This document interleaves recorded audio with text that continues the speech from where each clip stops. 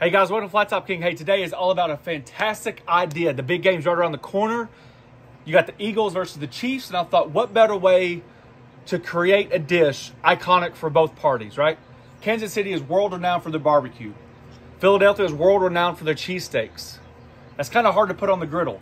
But what if we do a cheesesteak style pizza and a barbecue style pizza, put them on a cast iron dishes, put them all on the Pit Boss smoker, and see which one comes out a winner. You guys stay tuned.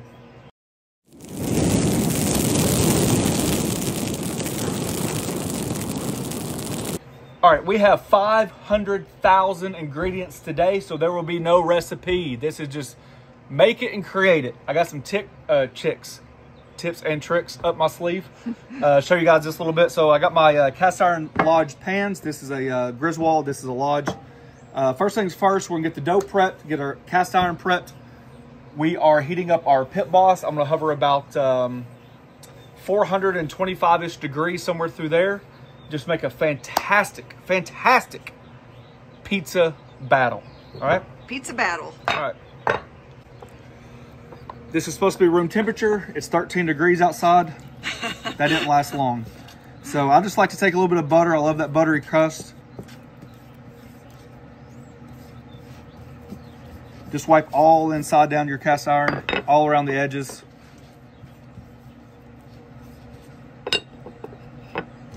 Just get it really good. I don't know if you can honestly have too much butter. That dough will absorb it. Oh, that's This, a this is how you do all your cast iron pizzas. yeah. I like it. I mean, if you like something, just stay with it. Now that you have it smeared with butter, I'm gonna take a little cornmeal. I've got a mix of cornmeal and polenta. One's finer, one's thicker. This is just your standard mix. We just love the crunch. Now this is optional, but I just absolutely love that little extra cornmeal kick on the bottom. And then these are the grits, just uncooked. You're not using a lot. Just a light dusting.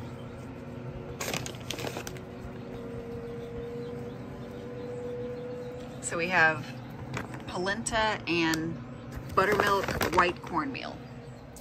All right, as you can see, we just got some pre-made dough. Uh, the local grocery store has some fantastic dough that's just ready to go. Uh, just read the package instructions. This has been sitting out for about an hour. Here's a tip.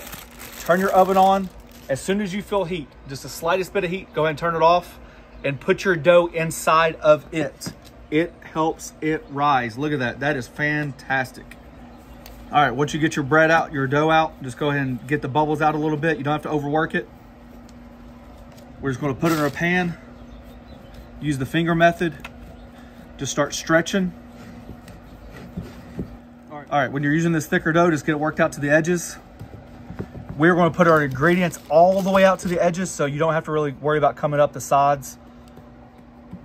I like to get it done a couple minutes when I start prepping my ingredients. That way it has a chance to proof back up a little bit. Indentions, as always, just a quick pinch of salt. Come back in with a little olive oil, lightly.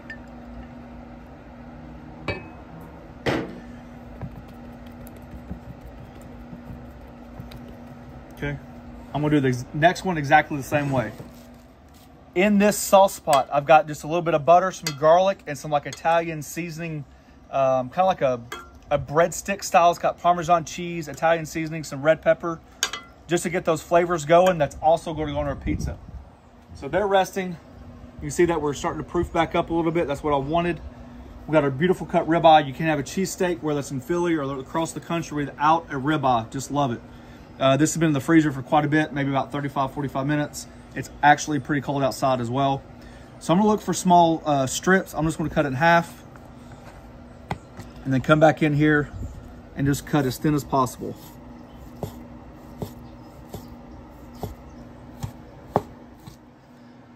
Whew, got the cheesesteak cut up. We got some peppers, some onions. Yes, I know peppers don't go on a Philly cheesesteak, but to be honest with you, when you order a cheesesteak pizza, it comes on it.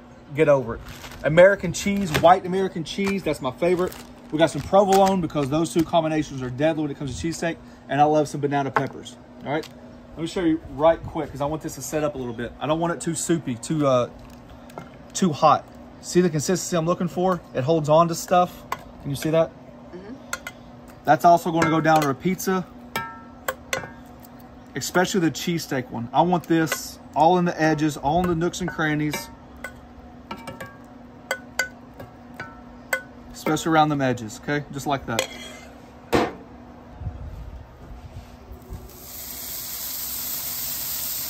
You don't have to worry about cooking your vegetables all the way because you are going to put them on the smoker for about, or you can use on the grill, oven, it don't matter, for about 15 minutes. So you don't want to overcook your vegetables. Just lightly season it with your favorite seasoning. I just got a little concoction I'm working on. I'm not going to overdo it. I want the flavors to pop, come through. Ooh, that smells good.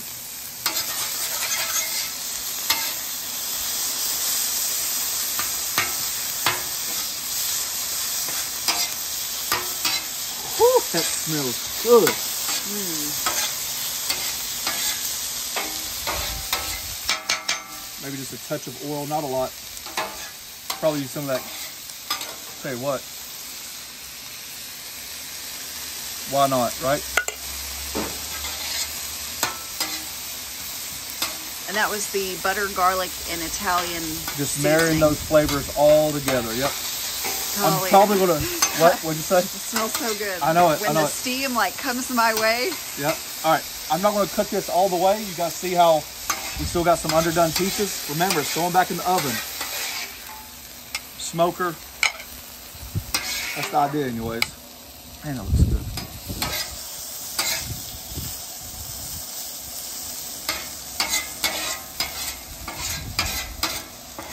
That right there is good on its own. I know. Oh yeah. Oh yeah. Oh yeah. Mmm. Mmm. All right, fresh on the uh, on the bottom here. This is kind of why I did not do a sauce on the bottom like a white cheese sauce. I just thought adding that American cheese on the bottom with all that garlic, butter, and stuff like that would probably create its own sauce. As you notice, I'm kind of leaving a little bit on the edges. I love those little burnt edges.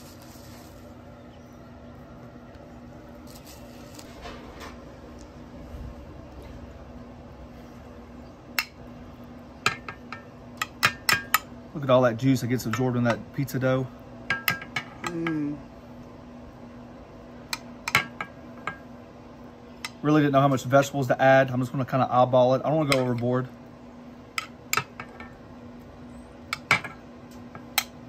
Although it looks like we got pretty close. Heck with it. Heck with it. It's a vegetable. We'll live. Oh my gosh. That looks good already. Oh my gosh. I mean, it looks like a winner already, honey. Winner, winner, cheesesteak pizza dinner. As you can tell, this is a healthy option. I mean, it's it's the big game Sunday, so I mean, you're not really there for a healthy option. I'm gonna leave it just like that because I don't want to overdo it. I like it when it has a chance to breathe, just like that. All right, we got that one set to the side. Now we're starting on that Kansas City style. What about banana peppers? Oh, I was so happy and how good it looked, I forgot. All right, perfect. Because I like banana peppers. I think it cuts through the fat. Really good. Really good. All right, for a Kansas City style, here we go. We got some restaurant style pulled pork because I know that you guys in Kansas City are crazy about your barbecue. We don't have the luxury. We got that South barbecue, a little bit different. So basically what I did, I just went to the store that I thought was, uh, or the restaurant that was closest in my mind of what I had in Kansas City before. It comes with a big old thing of sauce. Fantastic. So let's get it warming up on the griddle just to get those fats blended out in it. Warm that up. All right, I've just got a little blend that I've been mixing up myself lately. Just add a little bit more flavor on that.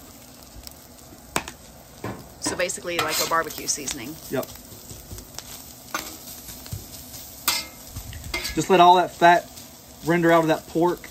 Get that chill off of it.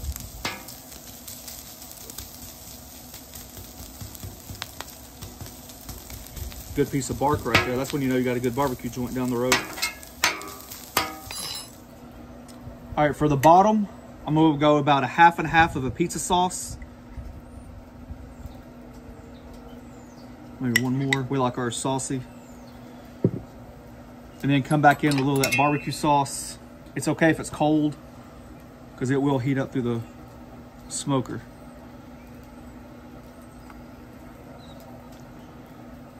Edge to edge.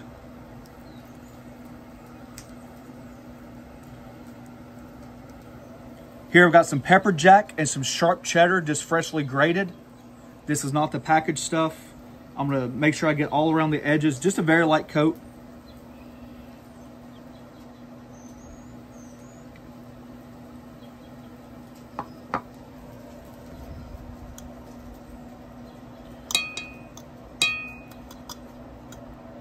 I'm gonna skip on no barbecue now. Hmm. This is for the big game. This ain't no scrimmage.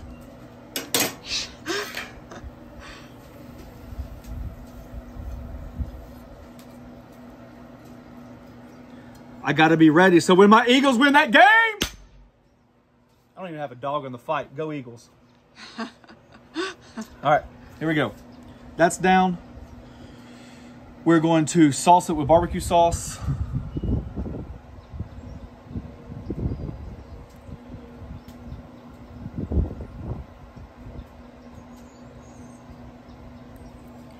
Come back over top of it.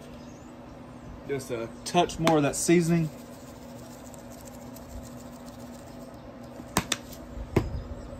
All right. We have sliced mozzarella. If you don't believe me, that's the package. Same thing in the corners that we did the other one. I just love how it burns on the on the edges. Just like that. Come back in a little bit more of that cheese. For basically just for color.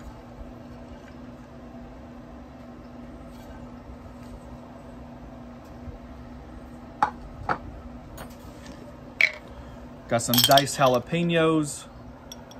Boy, this is going to be a deep dish. Deep dish pizza.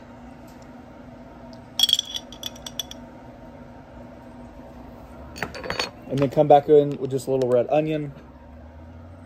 Obviously, all this is optional. This is how we're doing it. This is how we roll. All right. You guys ready? Right on top. Right on top.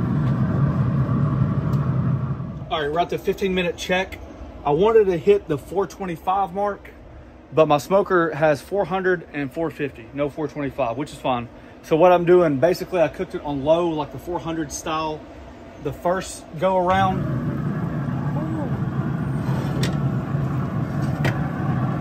Go ahead and just rotate them just to make sure that we're getting even cooking.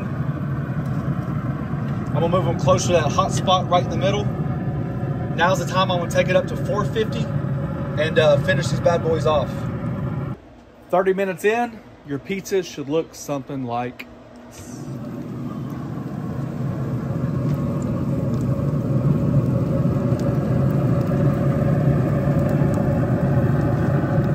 As you can imagine, I'm nervous as can be. They've been on there for 30 minutes. I'm assuming they would be done, but you never know. That's always something when you don't do it often. You know, you just don't have that confidence.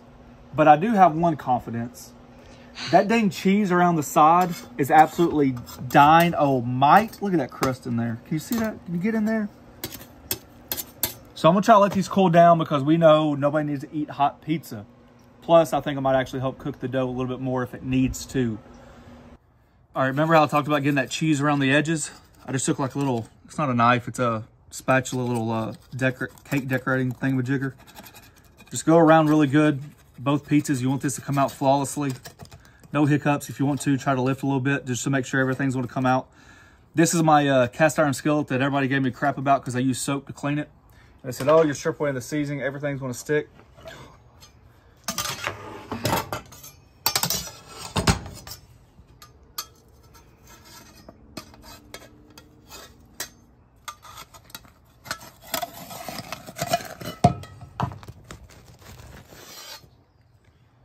You know what? Oh man, honey.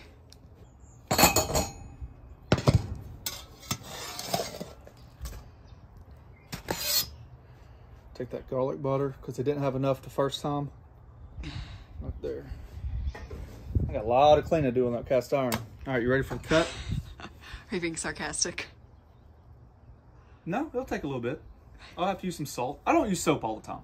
I'm not saying that. I was just saying that basically you can use it. It's not going to kill your cast iron. You just have to know how to maintain it after you do it. That's another show. All right. I'm ready to cut in. You ready to cut in? Have we let it cool long enough? Nobody ever lets their pizza cool long enough. I mean, look how good it looks. Would you look at that?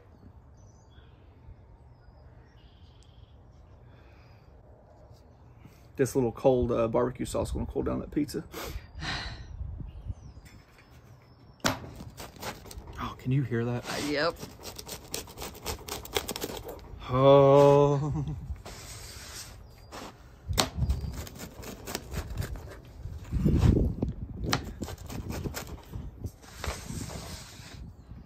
Here's a trick. I, I try to teach you guys something all the time.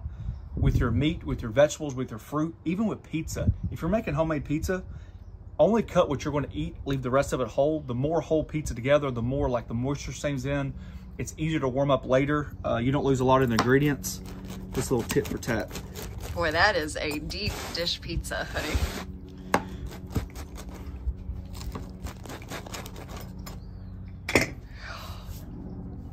All right.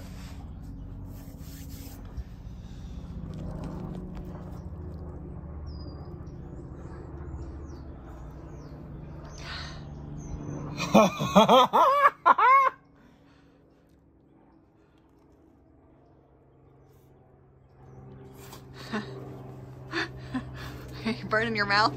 It's fantastic. Best thing ever. Touchdown. Go team. Goal. Basket. Hole in one.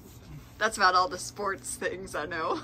that first bite, I was really worried about not making a sauce versus just doing the cheese on the bottom, but I really thought if I hammered the garlic butter on the bottom, that the cheese would have a chance to melt, incorporate with the bread. Added that olive oil, a little bit of salt. I mean, just look at that crust. Look at that. Let's see a picture of that one.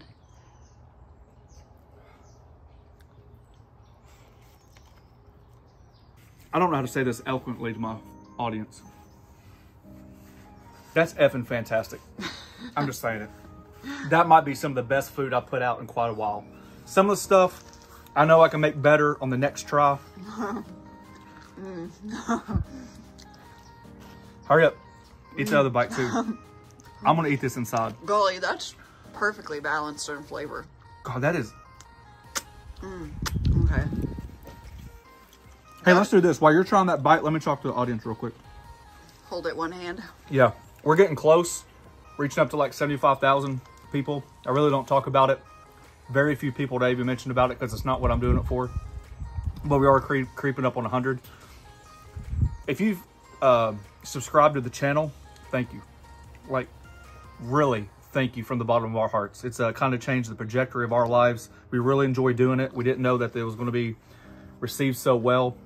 Do not be afraid to comment below, good or bad. I argue, I cry, laugh, you name it. But if you're a subscriber, do not hesitate to comment below. Whether we got more Geographic Explorer going on. Whatever it is, I'm here. We can answer questions about food, talk about griddles, talk about whatever you want to. Got a bad day? Reach out. I'm a veteran. Uh, there's a lot of things going on that you know we can always help each other with. So if that's something that piques your interest, drop a line below. Let's get to know each other. You guys can see that answer as many comments as I can. Are you done eating? yeah. All right. I I think I think I gotta give it to the Phillies. I do too. I do too. it is so good. I wish somebody say, "Oh, you don't have peppers." Who cares? God, it's so good. It's creamy. It's cheesy. It's not overboard. The cheese is starting to hard up, harden up as the pizza gets colder. And that bite right there, listen. Mm. The cornmeal, Yep. That's a little secret. the pellet smoker, people knock them all the time. I used to knock them all the time as well until I got one. It has changed my life. Mm, there you go, guys. Let the best team win. We both picked Philadelphia. Based purely on pizza. Uh, we have a membership uh, button down below. It's a join program. Check that out. If you have, thank you very much. Check us out on the Griddle Group on Facebook, where we talk about griddles, talk about pellet smokers. I don't care. Let's talk about food. Let's talk about something that needs to get off your chest. Thanks for watching. Don't forget to press that subscribe button, pound the notification button, share it with your friends. That's three videos, one day, one take each. That is fantastic. I'm getting better. Peace. I mean, which one would you have? Uh, the cheesesteak all the way. That one's good too, though. I know. They're both both good. Mm.